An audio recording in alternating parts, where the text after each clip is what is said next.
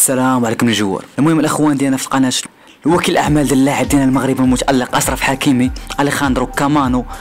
الوكيل ديالو قال بلي اللاعب مرتاح في انتر ميلان بحيث كما عارفين العديد من الصحف والأزمة المالية اللي عند الانتر ميلان يقدروا يصيفطوا ولا يبيعوا الفريق تشيلسي أو الأرسنال.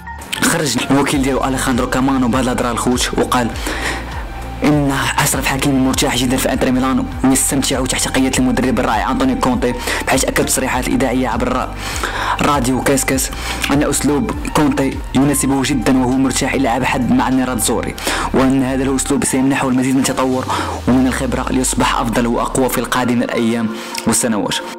وعندما سئل كمان وإن إن كان حكيمي سيلعب مستقبلا لنادي نابولي الإيطالي خصوصا أن الوكيل ديالو كيحب وكيبغي هذا النادي لدرجة كبيرة بحيث قال الوكيل ديالو لما لا؟ نابولي الفريق الأحب إلي والأقرب إلى قلبي. يعني كلاراسو يعني الوكيل الولد يقول الهضرة دي.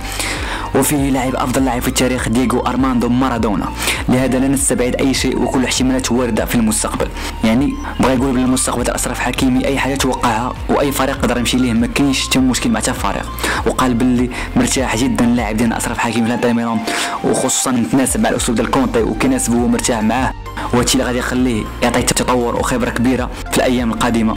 وكما عارفين حكيمي كيقدم مستوى عالمي مع الانتر بحيث انه في أي ماتش كتحس بالمساعدة ديالو وعديد من المباريات كان غادي يسجل وحاليا مسجل مع مسجل اهداف وعطى عديد من التمريرات الحاسمه يعني موسم جميل مع النيراتزوري المهم الخوت هادشي اللي كاين هو ديال أليخاندرو كامانو كيدير اشرف حكيمي الهضرة اللي قال على يقدر يمشي نابولي في المستقبل. هادشي اللي قال قال بلي لما لا؟ لا نستبعد أي شيء في كرة القدم وفي المستقبل. هادشي اللي كان الخوت كما العاده إلى عجبكم بلانر كعرفوا شنو ديروا كان معكم مروان. إن شاء الله ولي في راسكم